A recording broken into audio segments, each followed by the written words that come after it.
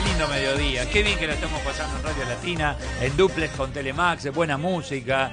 eh, empató River, ganó Estudiantes. Muy Ganó bien, estudiantes, Estudiantes. 2 a 1 en La Plata. Muy bien, Un partido polémico, hubo algunas cositas Bueno, polémicas del arbitraje, pero eh, no Estudiantes es un equipo compacto, un Muy equipo bien. que juega muy bien, que sabe lo que hace Sí. y hoy es el único líder con 22 Eh, puntos. no le ganaba nada. Sí, le ganaron a, primero le ganaron Sí. la semana pasada a San Lorenzo de visitante. San. Lorenzo que era el equipo furor de nuestro fútbol. Ahora le ganaron de local a Racing y la semana próxima se van a tener que enfrentar a River en cancha de Huracán. En principio porque Ah, habrá un recital en el Claro. Monumental, entonces no tienen la ¿Quién posibilidad. vienen ahí? ACDC, ¿no? Sí, creo que. ¿O no? que sí. ¿O lo- no? Es una banda de afuera, no. No, ¿cómo de banda afuera? Eh, viene metal, esto todo bien pesado. Por eso, sí, una- ¿Quién viene? Eh, Iron Maiden, me parece. No me, acu- no me acuerdo quién es, pero. Slash, ¿dónde toca? No, los Guns N' Roses. Ah, los Guns N' Roses, entonces. Bien, estaba Bueno, por ahí, estaba ubicado. Que agregaron una fecha, una función Claro. más, Bueno, 4 y en 5. River. En primer está. lugar, se quería Sí. jugar en Vélez este partido. Es un partido Ah. muy importante. River tiene que acortar distancias del puntero. estábamos ahí, pero eh, finalmente se va a jugar en Parque Bueno. de los Patricios y River hará de local en cancha de Huracán frente al puntero. Lo- la lástima es que River no pudo acortar un poco las distancias con el partido de ayer porque si ganaba la semana que Mm. Sí, viene al claro, líder iba a quedar claro. mucho más cerca, pero al menos tiene que enfrentarse a estudiantes, el Che, único ¿Viste líder. Susana anoche? La rompió con este muchacho, eh, ¿cómo se llama? El Pepo. El Pepo. Yo no lo conocía. Cuando aparece el Pepo, el Pepo, el Pepo, mi mujer quería ver a Ricky Martin ¿eh? y le aparece el Pepo. Bueno, le digo, pará, si está primero el Pepo, porque en rating la rompió. La rompió, duplicó a los seguidores de Ricky Martin. La popularidad de este chico, este, y ya lo que más me sorprendió, que mis chicos empezaron, Luciano más chiquito, me, ponía la música de fondo, el de la babosa, ¿cómo es? Una cosa, viste, que se mueve la babosa. Viste, digo, ¿qué es esto que estamos escuchando? No, pero ¿cómo no sabés quién es? Y el promedio fue eh, 14.2. Es una barbaridad. 12. Una- y, y 14.12. la nata El estaba promedio, en 10, lo la que nata pasa es estaba en que 9, 10 puntos, ¿eh? hacía picos, Sí, sí, este. sí, sí, sí, sí. Es un muchacho que eh, pasó por distintos momentos en su vida, eh, tremendos, este, cayó en la adicción del Paco, eh, una y otra vez, eh, comenzó a, a delinquir, entonces lo, lo metieron en cárcel, eh, cumplió una condena de no sé cuánto, creo que seis, seis años, tiene que estar seis años en cana, ¿eh? ¿Eh? Y salió y dice que lo ayudaron y, y salió y empezó a cantar y fue a México. Eh, bueno, toda una historia de vida eh, por lo menos discutible, ¿eh? pero no deja de ser interesante. Pablo Serantoni es productor eh, y está en línea. ¿Cómo te va, Pablo? Hola Eduardo, hola ¿Qué? a todos los oyentes ahí, buen día. ¿Cómo andamos? ¿Bien? Bien, la verdad que sí, estaba escuchándote y bueno, más o menos un poco así la historia. Es así la historia, ¿no? De este Sí, chico. Ah, Va, chico, ¿tiene qué edad tiene? ¿30 y algo? Pepo tiene 36, 37 si no mal recuerdo. 37. Eh, ¿qué? Pero me, me sorprendió la repercusión eh, y la gente cómo lo sigue, Pablo. Sí, mira, nosotros, a ver, tenemos en parte la representación de él Sí. desde que él, a ver, estaba más o menos consensuado, no sé, meses antes de que salga en libertad. Eh, y bueno, es un poco lo que vos decís, es polémico en algún punto, ¿no? Mm. la, el tema de la rein- reinsertarse en la sociedad, de la posibilidad que tuvo Mm. y de poder recuperarse tanto de las adicciones y de todos los problemas que tuvo, ¿no? Sí. Y Lo que pasa es que hoy, en- eh, hoy como se vive por ahí, con la inseguridad que hay, los asesinatos y, y las muertes que hay a, a raíz de la droga y de un montón de cosas, se genera una polémica y a su vez nos asombra por ahí de que alguien que ha estado en las drogas y a causa de las drogas ha estado en, en la delincuencia Sí. se reinserte y en realidad sería tendría que ser así Eso, ¿no? a ver, eh, sería magnífico. Él cantando, otro siendo plomero, otro Claro. carpintero, ¿no? ¿Eh? y nos asombra eso que algo tendría que ser normal tenía que Claro. pasar eso no Sí, sí, sí, sí, sí, sí, sí. Es más, dice que, lo escuchaba ayer con Susana, dice que en cada espectáculo él les habla a los pibes. a todos a Ah. todos a todos recién estaba leyendo mirá me estaba justo hablando con él recién y me estaba pasando algunos mensajes de la gente lo que le escribe ¿entendés? en privado Sí. mensajes por las redes sociales y todo, y es un poco la devolución de esto, del mensaje que él da, la gente, gracias a tus canciones yo estoy mejor, Mm. gracias a tus canciones estoy dejando de la droga, me, me ayudó tu mensaje, que se puede. Sí. Por eso también el éxito que tiene, ¿no? Porque normalmente los artistas de la movida tropical tienen este éxito cuando son representativos socialmente, ¿entendés? Sí, sí, sí, sí. cuando sí. se funciona esta cuestión del, del espejo. Entonces el pibe que Mm. está bajo el escenario lo mira y dice, ese puedo ser yo, porque él era igual que es igual que yo y zafó. ¿entendés? Sí, sí, sí. Eh, incluso en un momento decía, yo eh, soy un tipo sociable, me gusta estar con uno, con otro, y terminé solito, encerrado en un departamento, en medio de la adicción, ¿no? Sí, tuvo tuvo momentos muy, muy, muy, muy difíciles, muy difíciles, la verdad que sí.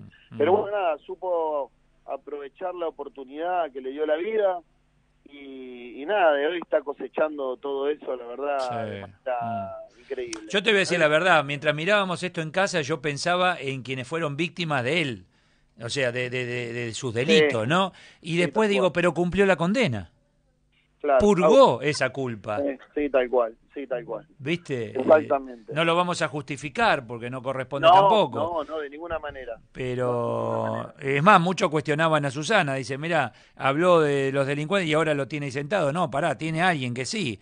Entró en el delito, pero pagó y está nuevamente en la sociedad ahí poniendo la Y se, cara. re- y se reinsertó, y se Ah. reinsertó, Mm. y, y de buena manera. Pero bueno, nada, es un poco lo que es, es polémico, es Es polémico, polémico, pero a la vez pero a la vez nos sorprende que Mm. se haya reinsertado, ¿entendés? Sí, sí, sí, Hasta sí, sí. incluso algunos por ahí hasta, viste, ponen en duda, ¿entendés? Y dicen, no, este en cualquier momento se la choría de vuelta, cualquier cosa. Claro, y bueno, sí, sí, Es sí, así. sí, sí, sí. Estamos en un momento muy delicado, Pablo, Eh, muy, muy eso, delicado, por eso, ¿viste? por Muy eso, por eso muy también, viste, uno, uno entiende la Y contame por dónde esto debe ser difícil. El éxito a veces es difícil de explicar, ¿no? Pero yo sabes en qué te voy a decir. Ayer pensé cuando terminó y cantaba y bailaba, da, pensé en Rodrigo.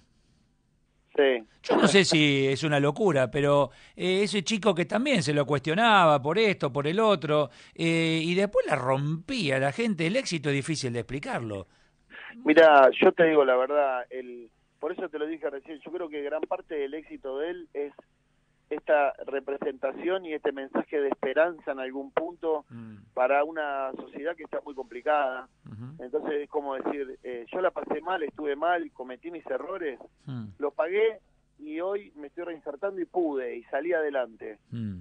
Yo creo que ese es el mensaje un poco en general. Más allá, más allá de la música, más allá de, de- de- de- Sí. de las letras, etcétera. sí, Ah, tal cual. ah. Tal cual. Igual te cuento, te cuento una cosa que por ahí también eh, tiene las- los temas son muy tienen mucho gancho. Él durante años era el encargado de hacerle los temas a la hinchada de Tigre. Él vivía en zona norte Ah, ajá, y él era el autor que le hacía los temas a la hinchada de Tigre. ajá. Entonces tiene esta práctica de hacer temas cancha, ¿entendés? Sí. mm, Es mm. más, muchos de los temas de él los cantan en las canchas, muchos de Ah, los ¿sí? temas hoy de él. Sí, Ah, sí, mira sí. vos. Ah, Sí, tal cual. Sí, sí, sí. sí, sí. Entonces, ah, y creo que es eso, creo que Mm. siempre, mira, si vos analizás, siempre los éxitos así muy grandes de esta manera, siempre son representativos a la sociedad, sí, siempre. sí. Vos mirá a Rodrigo, vos decís Rodrigo, Rodrigo Mm. surgió y explotó en el año 2000, Mm, ¿no? sí. ¿Y qué pasaba? ¿Qué necesitaba la gente en el año 2000? Bailar, 2001? divertirte, salir Sí, de un poco. y a su vez, ¿sabés qué necesitaba? Un tipo transgresor, jetón, gritón, Ah, ¿entendés? sí. Que sí, fue lo que pasó en el 2001, la gente Sí. salió a la calle y explotó todo. Sí. ¿Entendés? mm. Hay una representación. en- Eh, y, un y- y no solo acá en Argentina, en México dice que le va muy bien.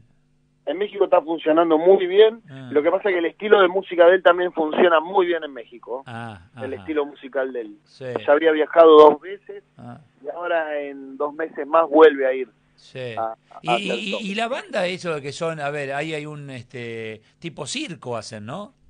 No, él O tiene, a ver, él es, él, a ver, los shows de él se caracterizan por eso, porque es como si fuera una gran fiesta. Entonces, eh, lleva algún malabarista, algún payaso, y, Ah. están como de animadores al show, digamos. ajá.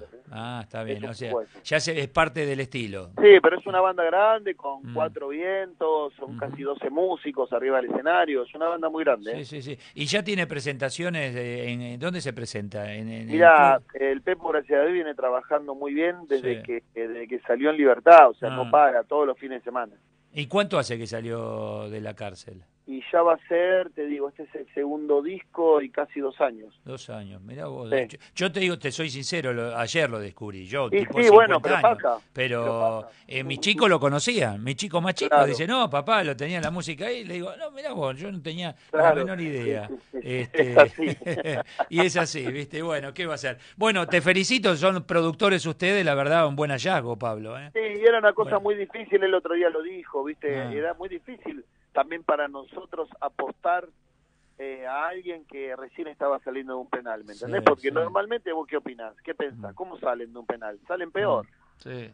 ¿Me Sí, sí, entendés? sí, sí, la verdad que sí. ¿Para qué te a Ello que pensábamos mucho en familia anoche ¿Entendés? mirando el programa. Ahora, vos viste el rating que tuvo Susana, ¿no? Con él. Explotó, estaba, Ah. llegó a los 20 puntos casi. Sí, sí, no, no, fue algo increíble y las redes sociales y todo, ¿no? Eh, Sí. ¿Cómo se dice? Trendy topic. eh? ¿Cómo? Exactamente, Fue- los TT. Los bueno, TT. y, lo- y lo Superó logró anoche. Martin. A Ricky Martin superó, Pablo. Fue tenden- primera tendencia casi. sí, Ahí sí, está. tal cual. Claro, y Sí. esto, eso vale y mucho. Y mucho tiene que ver el productor también. Te mando un abrazo grande. Gracias, Eduardo. Una Chau, abrazo. Pablo Serantoni es productor del Pepo. ¿eh? Yo lo conocía. una vez que terminó Eh. de cantar una de sus canciones. La verdad que un no me gusta grande. ni medio, ¿eh? no te voy a, no voy a decir, oh, qué lindo que es, porque no voy a ser falso. La verdad que no, no escucharía ni medio segundo, pero tengo que reconocer el negocio eh, y la- la- la- el magnetismo con la gente. ¿Qué querés que te diga? Eh, Eso hay que reconocerlo. ¿Vos qué me decías, Nico, perdón? Que justo cuando terminaba Ah. de cantar le mandaba un saludo muy grande a Pablo el- cuando cantó en lo de Ah. ¿sí? Ah. Le mandó un saludo muy grande Claro. justamente por la relación que Sí, tienen. Sí, sí, sí, sí, sí, sí. Bueno, así las cosas. Hay cosas que no se pueden explicar. Eh, y el éxito difícilmente uno puede explicarlo. Acá está. Eh, ¿Tenés mensajes ahí, Nati? Tengo ver, mensajes a de mm, la gente que se va de vacaciones, ¿no? vacaciones, ¿eh? Hay un montón, así que arrancamos por los primeros que han Bueno, llegado. ok. Eh, dice por aquí, em, me voy de vacaciones a mi Paraguay. Muy bien. Se ve bueno. que es de allá y vive en Argentina. Martín de Liniers, me voy a Villa Gesell. Ujú.